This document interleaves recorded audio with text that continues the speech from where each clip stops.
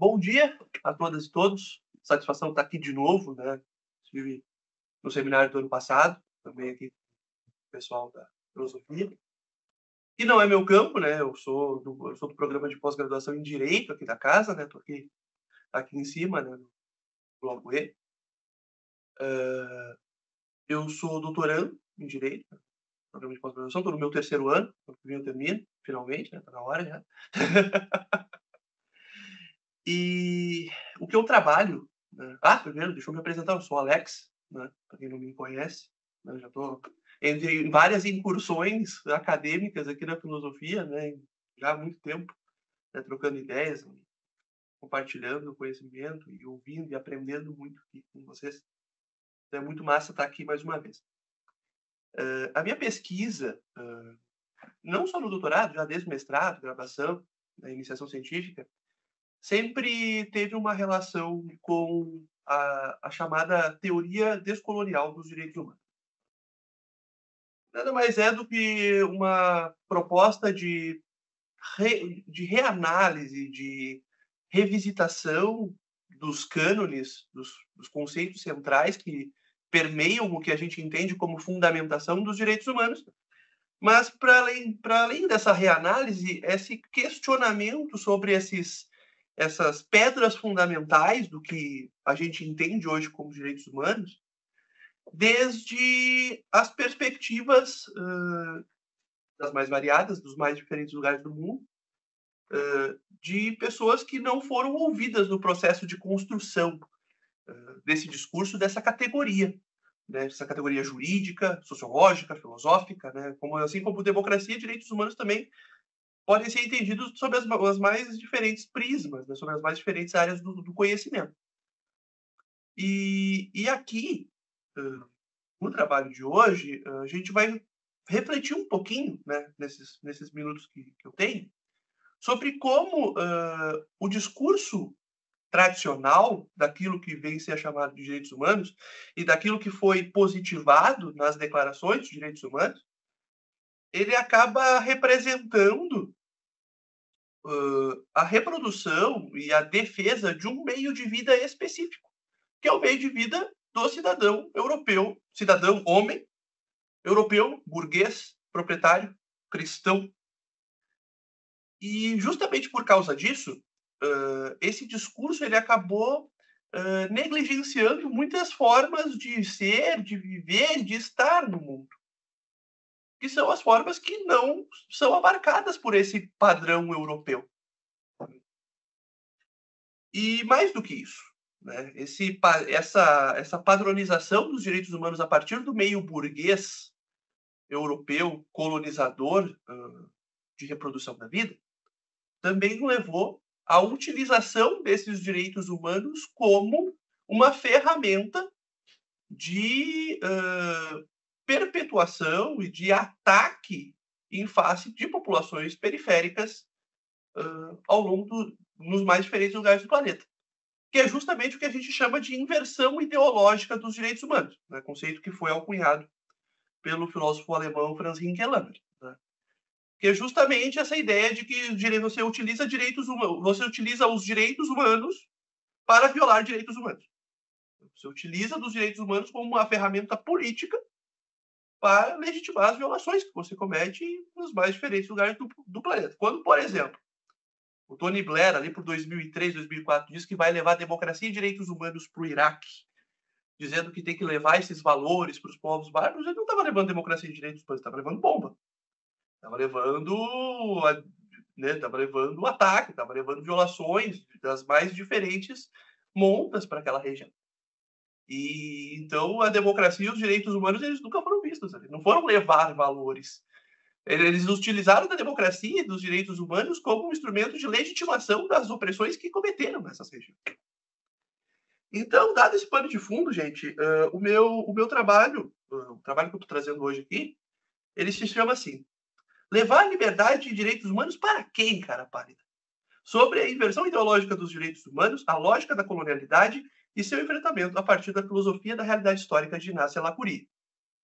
Inácio Lacuria, né, quem, quem é da casa sabe, né, que ali no IHU a gente tem uma sala com o nome do Inácio Lacuria.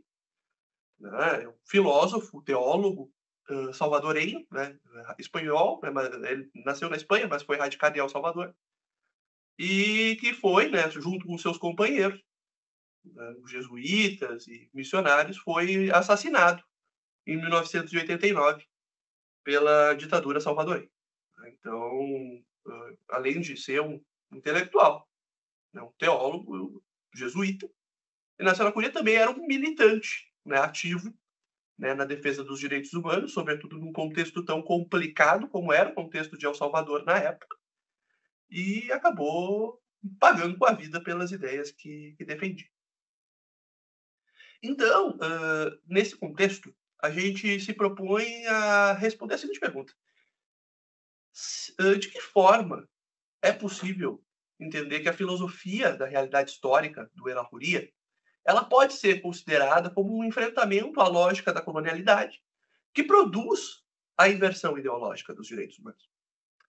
E para a gente poder entender isso, a gente precisa voltar no tempo, voltar até 1492, né? voltar até né, a chegada do nosso querido Cristóvão Colombo à ilha de Guarani, né, e né, ato que ficou conhecido como a conquista da América.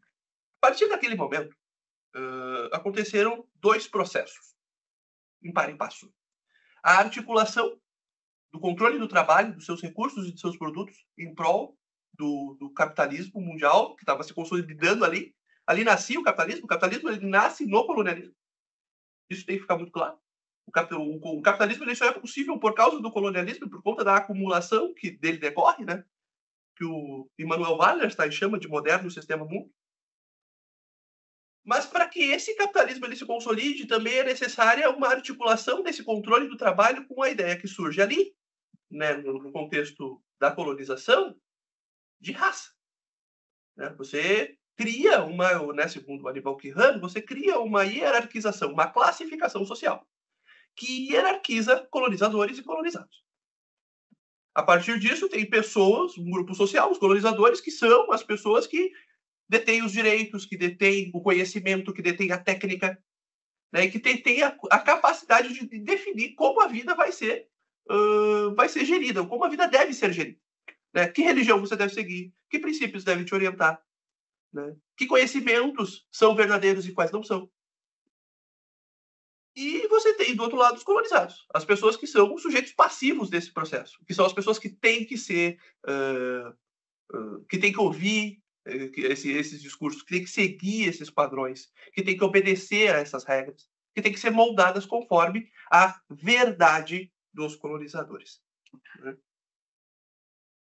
E com esse processo da colonialidade se, se erige outro, que é a questão da formação daquilo que a gente entende como o discurso dos direitos humanos. Porque o que, que acontece?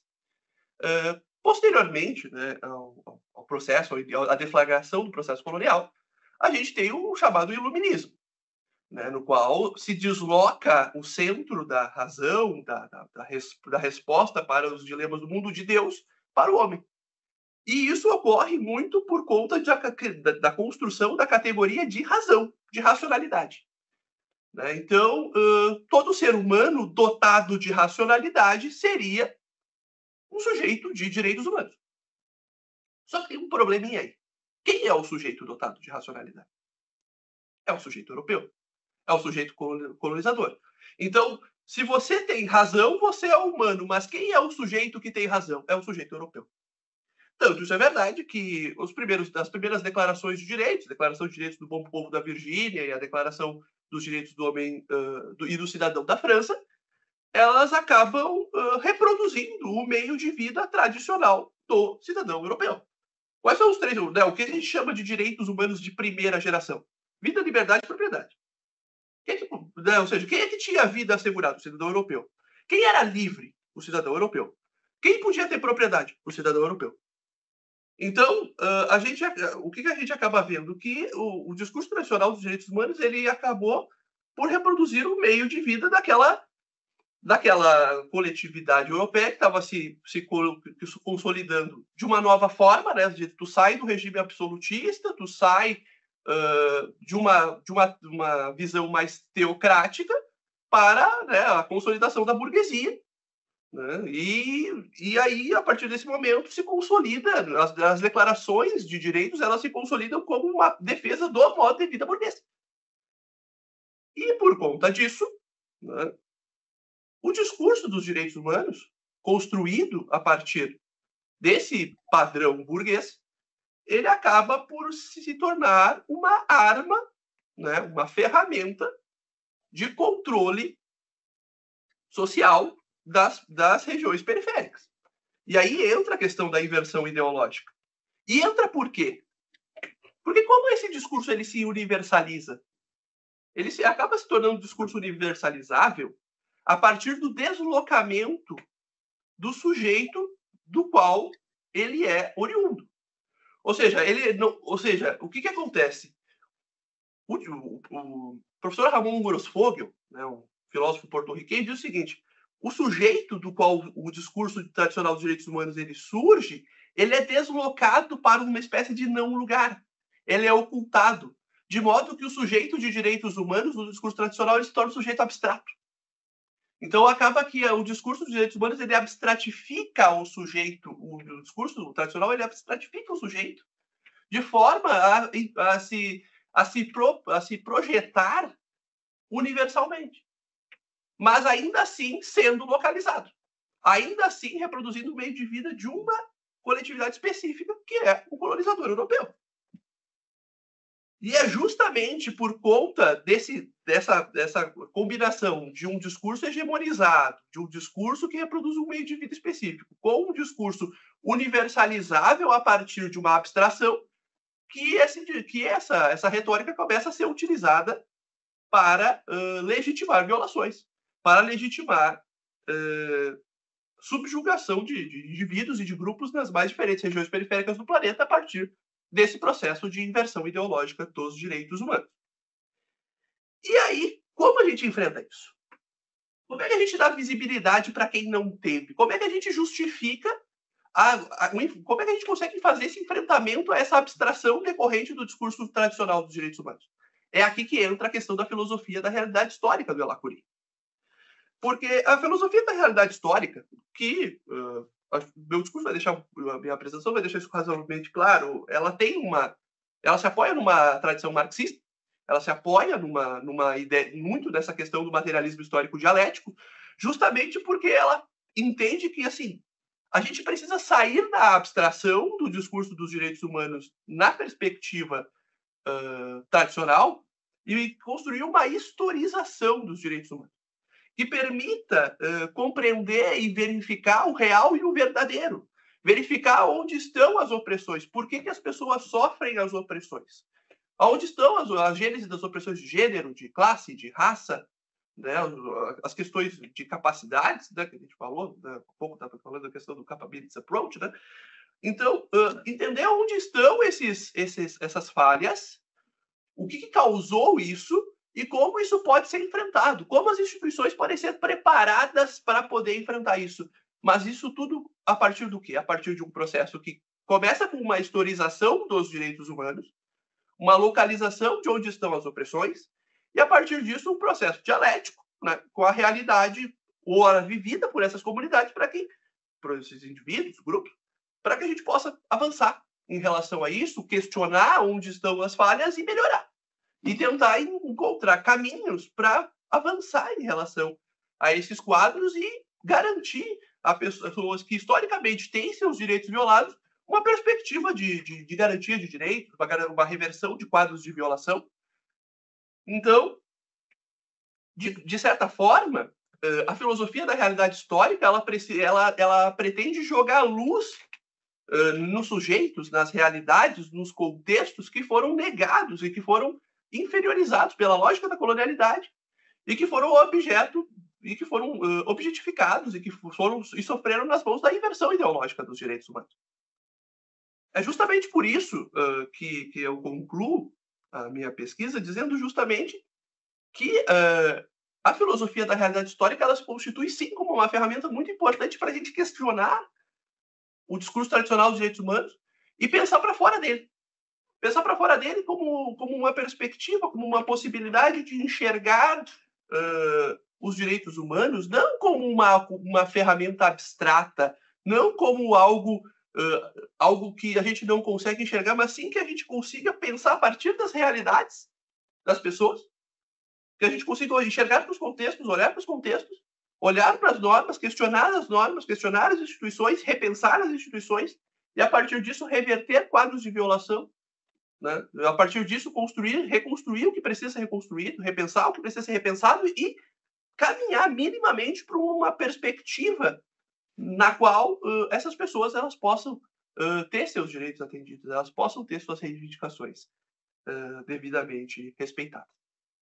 Em síntese é isso, gente. Eu agradeço muito a atenção de todas e todos vocês, tanto presencialmente quanto virtual, e fico à disposição aqui para o debate, para a gente trocar essa ideia. Valeu! Muito obrigado, Alex, pela tua exposição. Nós abrimos então para as questões, uh, tanto presencial quanto online. O Jason aqui já se manifestou. Por favor, Jason. Bom, uh, primeiro, o Alex, é uma satisfação ver você aqui o problema da filosofia, às vezes, é que tem filosofia demais. Às vezes. E, às vezes, de vez em quando. E é, é muito bom ver você fazendo o que você faz. Uh, isso de deixar as coisas desconfortáveis, né? Pelo menos no plano da, pelo menos no plano da filosofia social, né? não está causando algum desconforto, está errado. Uh, Bom, uh, eu, claro, já conheço o teu trabalho, a gente troca moedas, às vezes farpas, às vezes, às vezes a gente é passivo-agressivo, às vezes agressivo-agressivo, mas isso faz parte. Uh, eu tenho uma pergunta muito específica para você. Pergunta de filósofo. Uh, não quer dizer que é pergunta complexa, não quer. Uh, a tua questão com os direitos humanos, pelo menos nessa abordagem mais mainstream, né, dessa ideia universalizante, né, essa ideia que ao mesmo tempo que é universalizante, ela também é atomizante, né, ela toca na unidade do indivíduo. Né. O teu problema com esse discurso, ele é um problema fundamentalmente normativo, quer dizer, tem, tem um, é um problema normativo ou ele é um problema de contradição do discurso com a prática, né? Porque eu lembro de tem alguns exemplos na história que você deve saber de pessoas, por exemplo, na época da Revolução Francesa, né? Então, a primeira grande formulação de direitos humanos como a gente conhece hoje. Uh, aquilo foi tão legal, o pessoal achou tão da hora que os haitianos também, ah, bom, a gente quer isso daí também. E aí a gente teve a Revolução Haitiana, que foi uma, que, como vocês sabem, empreendidas pelos, pelos trabalhadores escravizados lá. Porque, bom, legal isso de liberdade, a gente quer pra gente também. Então eles usaram o mesmo aparato normativo, né? E, uh, e pode ter outros, né? Tem vários, tem, uh, tem análise, por exemplo, o Martin Luther King também usando método. Bom, isso é tão bom que a gente quer para a gente também. Enfim, tem vários exemplos disso. Então, a, a, a, minha pergunta para você é essa: é um problema normativo? Você não está satisfeito com essa com essa descrição ou você está ou você o, a tua questão é na contradição entre o discurso e a prática, mas alinhando a, alinhando a prática com o discurso, isso fica menos problemático. Não fica. Não fica, e aí eu já começo a responder a tua pergunta por seguinte, tá? É, alguns filósofos, Bob é um bom exemplo disso, sempre diz o seguinte: olha, o problema dos direitos humanos não é um problema filosófico, é um problema de efetividade. Então, aí, se fosse, assim, se a gente partisse pela interpretação do Bob, beleza. A gente poderia dizer, não, o problema é mais contradição entre discurso e prática, a prática tem que ser realinhada, a efetividade tem que melhorar, as leis têm que mudar, tudo isso se resolve no campo do direito. Eu não me filio a esse posicionamento. E por que, que eu não me filio a esse posicionamento? Porque eu acredito, e, algum, e tem alguns autores que acreditam nisso, Alejandro Rossini Martinez, Francis Lambert, enfim, a gente vai longe aí, né, o Joaquim Herrera Flores, toda a teoria crítica dos direitos humanos se filia a esse posicionamento de que o problema começa lá atrás. O problema também é filosófico. O problema também está localizado na fundamentação dos direitos humanos. Então, não é uma questão que tu consegue resolver alinhando discurso e prática. Porque, na verdade, tu tem que mudar o discurso. Para te mudar a prática, tu precisa mudar o discurso. Para te conseguir mudar o padrão e conseguir rediscutir essas questões eh, de uma nova forma, tu precisa necessariamente rediscutir o que são direitos humanos. Tu precisa mudar as bases da discussão, mudar a fundamentação. Né? Direitos humanos para quem? De que maneira? O que são? Quem, quem é o sujeito de direitos humanos? A gente precisa repensar esses, essas categorias para que a partir disso a gente consiga normativamente construir uma nova retórica. Entendeu? Então, tipo, para gente aqui não, então acaba que não não, não é uma questão que se que, que fica adstrita à discussão ao, ao dualismo discurso prática, porque na verdade tu precisa mudar também o discurso. Tu, entendeu? A gente precisa mudar a prática, muito. Mas antes a gente precisa mudar o discurso. A gente precisa realinhar as nossas bases, ressignificar os direitos humanos. E isso necessariamente tem que partir da onde? Da realidade concreta das pessoas, principalmente dos grupos que até o momento, indivíduos, grupos que até o momento tiveram seus direitos negados, tiveram as suas uh, prerrogativas, as suas necessidades, as suas demandas, a sua forma de vida negligenciadas por um discurso que não deu conta de abarcar essas comunidades.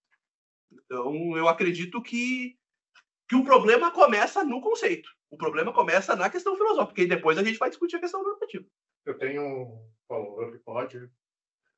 Tá. Uh, eu tendo a concordar com você, tá? O problema é o, é o discurso que prescinde da realidade social. Tem que ser o contrário, como o Rawls fez. O Rawls fez justamente isso. Vamos olhar para esse negócio e vamos ver o que, que a gente consegue extrair disso. E ele ponto de vista de método, ele fez isso muito bem e, posteriormente, e o pessoal seguiu com isso. E foi isso que eu defendi na minha dissertação de mestrado, né? que um discurso de direitos humanos uh, ele emerge da realidade social e não o contrário. Né?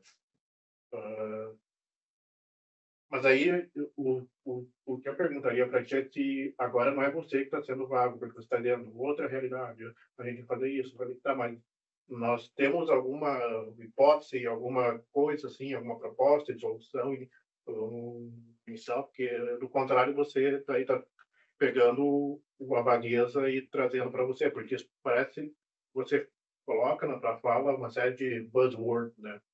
E que elas são legais, mas o, o que, que elas querem dizer em termos de uma proposição de uma teoria alternativa? Não, eu acredito. Por exemplo, realidade concreta. Não, perfeito, perfeito questionamento é bom. Eu acredito que sim. Eu acho que a, a, a, filosofia da realidade histórica que a gente traz aqui, ela é um caminho para a gente conseguir visi dar visibilidade para as pessoas que tiveram o, o né, que têm historicamente seus direitos negados. Esse é um primeiro passo. O segundo passo, tá? Uh, qual é? Como a gente constrói? Como a gente pode pensar em reconstruir essa, essa retórica dos direitos humanos? Como a gente pode pensar em rediscutir esse discurso? Eu acredito que isso passa, assim, a partir do que eu estudei, do que eu li, do que eu escrevi ao longo dos últimos anos, pelo que a gente chama de interculturalidade. Né? A gente, para a gente poder reconstruir uh, os direitos humanos, a gente precisa necessariamente construir uma nova retórica, uma nova, um novo discurso de fundamentação dos direitos humanos. E isso vai passar pelo quê? Pelo diálogo intercultural. Entendeu? A gente vai precisar estabelecer alguns consensos entre a sociedade. Ou seja, alguns, alguns limites, algumas possibilidades, alguns, alguns conceitos comuns que consigam dar conta de abarcar as realidades plurais que habitam no planeta. Então a gente, então a gente precisa construir consensos reais, simétricos, onde todo mundo seja ouvido igual, onde todas as realidades sejam consideradas de maneira igual. Só assim a gente vai conseguir construir uma nova ideia, uma ideia de direitos humanos que dê conta de todo mundo e não de um grupo específico. Que se, né, como a gente tem agora, um grupo específico que se oculta do, do, do, né, do, da enunciação e se universaliza como se abstrato fosse, fosse para todo mundo, mas na verdade não é. porque ele parte de um local específico. Então, uh, eu acredito que isso passa necessariamente pela construção de um diálogo simétrico intercultural entre as, as, as comunidades e as populações. Ah, você vai dizer, poxa, mas isso é muito utópico, isso é muito distante. Sim, é distante, assim, mas a gente precisa começar de algum lugar. Né? E a gente precisa entender onde é que a gente errou. E onde é que a gente errou? A gente errou no, no momento em que o colonizado ele não tinha voz. O colonizado não tinha nem humanidade. Então a gente precisa avançar um pouco, precisa voltar duas casas e reconstruir a base sobre quem vai poder pensar numa nova perspectiva. Se vai funcionar na prática, bom, aí é uma questão discutir lá em cima, né? Vai discutir uma questão, jurídica. Mas filosoficamente falando, em títulos de fundamentação, né, a gente precisa construir um espaço, construir um, um, um campo onde todo mundo consiga dizer a sua versão do rolê. Tá bem? Tem tem mais pergunta? Não, tem mais um minuto. Tá, uh, primeiro, eu acho que a tua questão inicial é uma questão de, de onde uh, o paradigma da discussão. Você está falando que o paradigma tem que ser um paradigma inclusivista, né? Então a gente tem que apontar para isso. E isso é uma coisa que dá para se notar também. Mas a partir dessa inclusão, que é inevitável a emergência de novos princípios cujo critério de correção, que é isso que você está falando, são essas suas suposições do interculturalismo, ou qualquer que seja a palavra que a gente dá para essa pluralidade, né? E, e, e, dito isso, você mantém ainda alguma universalidade no discurso dos direitos humanos? Não, eu acredito assim, que a gente pode sim construir um discurso universal de direitos humanos, mas um discurso universal que seja intercultural. E com certeza isso vai passar por algumas bases principiológicas. Olha, tipo, quem vai falar? Quem não vai falar? A gente vai, a gente vai castrar isso? A gente não vai castrar isso? Entendeu? Como a gente vai operacionalizar isso? Bom, isso é, de novo, aí a gente vai entrar na questão mais normativa. O que é mais importante aqui? Que a gente consiga uh, equilibrar o que está desequilibrado, que a gente consiga tornar as assimetrias simétricas, que a gente consiga ouvir quem não foi ouvido. Então, uh, eu acredito que esse é o primeiro passo para a gente conseguir construir algo novo que vai, vai vir depois, entende? Então, uh, eu penso eu penso dessa forma, tá? Eu acho que a gente precisa avançar em relação à construção de uma simetria discursiva entre os diferentes grupos que habitam o planeta para a gente conseguir então, uh, avançar nesses, nesses, nesses problemas, nessas contradições que o discurso de direitos humanos apresenta hoje, e possa avançar para uma, uma nova perspectiva. Muito obrigado, Alex, pela tua exposição.